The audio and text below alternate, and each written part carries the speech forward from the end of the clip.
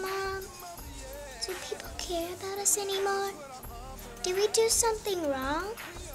Why do people go so far away to help but don't help here? Did we do something to make someone mad? If I say sorry, will they come back and help us?